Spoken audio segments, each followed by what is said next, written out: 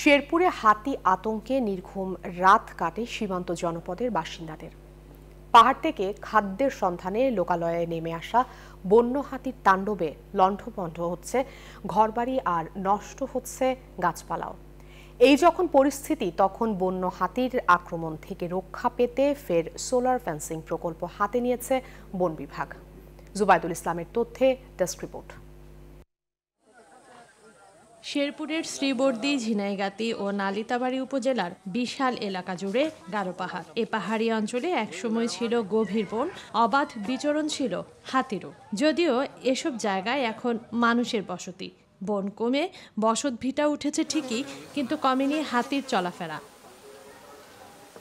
চিরচেনা পথে খাবারের খোঁজে প্রায়ই লোকালয়ে চলে আসছে এই প্রাণী। এতে বসতভিটা ফসলি জমিত ক্ষতি হচ্ছেই, সেই সাথে হাতির আক্রমণে ঘটছে প্রাণহানির ঘটনাও।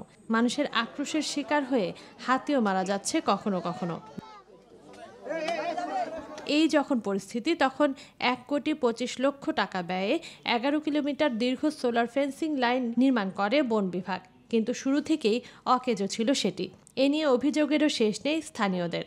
হাতি আসছে আঙ্গুর বাড়ি ঘুরে গেছে বাড়ি ঘর ভাঙছে মানুষ মারছে। ফেঞ্চি তার কোনো কাজে আসে নাই। যেগুলো ব্যাটারি আছিল ব্যাটারি পর্যন্ত আত্মসাত করছে।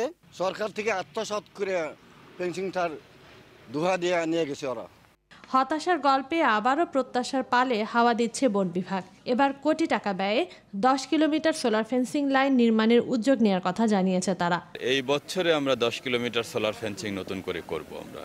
কারণ প্রথমে যেটি করা হয়েছিল, সেখানে কিন্তু ওখানে কোথায় কোথায় দুর্বলতা আছে, কোথায় কোথায় সমস্যাগুলো আছে, কি কারণে এইটি ফুললি অ্যাক্টিভ হয়নি অ্যাক্টিভেট পুরাপুরি এইটা হয়নি সুতরাং সেই দুর্বলতাগুলো আমাদের এখন স্থানীয় এখানে যারা আছে, তারা চিহ্নিত করতে পেরেছে। শুধু সোলার ফেন্স নির্মাণ বা রক্ষণাবেক্ষণ নয়, স্থানীয়দের সচেতনতাও জরুরি বলছেন সংশ্লিষ্টরা।